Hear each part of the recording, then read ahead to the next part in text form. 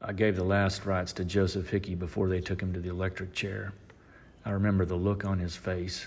I remember his twisted smile as I made the sign of the cross. And I remember wanting to kill the son of a bitch with my bare hands.